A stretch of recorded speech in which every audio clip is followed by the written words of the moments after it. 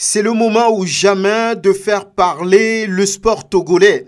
C'est le moment où le sport togolais doit se faire entendre, étendre les problèmes que connaît le sport au Togo à tous les candidats à l'élection présidentielle. Le public sportif n'a Dieu aujourd'hui que pour celui qui va l'emmener au septième ciel. L'essentiel à ce jour, c'est de se rendre compte du désarroi qui pèse sur le sport dans son ensemble au Togo. Il est plus que primordial pour les candidats. William Kwessan, Asiobo de Santé du Peuple, le professeur Komi Wolu du PSR, Aimé Gogué de la DI, Tiasona Traoré du MCD, Jean-Pierre Fabre de l'ANC, Agbeome Kodio Mensan du MPDD et Fort Zimna Nyasingbe de UNIR, de se rendre compte du retard qui caractérise le sport sur la terre de nos aïeux et de s'approprier la situation afin déjà d'avoir un plan de développement pour le sport. Il ne s'agit pas d'avoir des ambitions sur papier, mais de poser des actes concrets qui puissent réveiller définitivement un sport plongé dans un sommeil profond. Au fond, c'est un diagnostic qu'on doit faire à tous les niveaux pour sortir le sport togolais de sa léthargie. Il s'agit de mettre le sport à l'effigie de la campagne électorale. Il s'agit pour le prochain président de la République du Togo d'avoir non pas un plan rhétorique, mais un engagement pragmatique vis-à-vis de la chose sportive.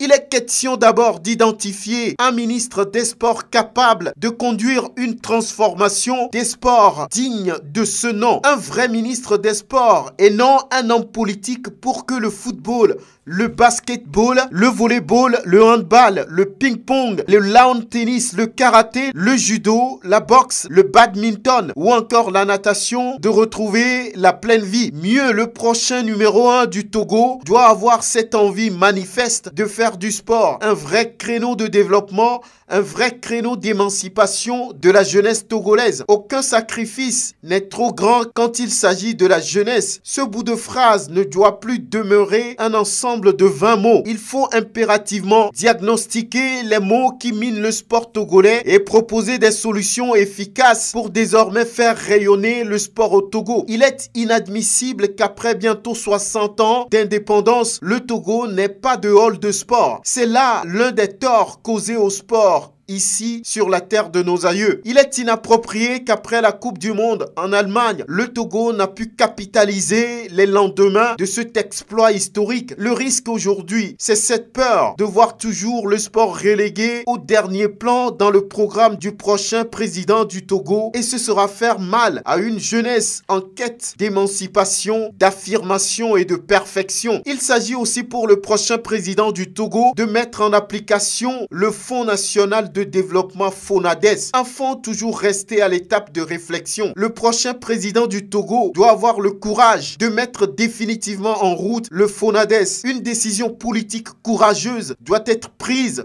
au nom du développement du sport dans son ensemble au Togo, comme Mao Zedong un jour en Chine a décidé de faire du tennis de table un sport national. Bon courage au prochain président.